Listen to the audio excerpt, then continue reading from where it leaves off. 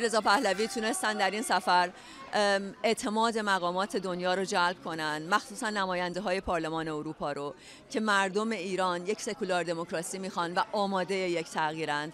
تونست به اونها بگه که اعتلافی شکل گرفته که میشه بهش اعتماد کرد و همه طیف رو نمایندگی می‌کنه.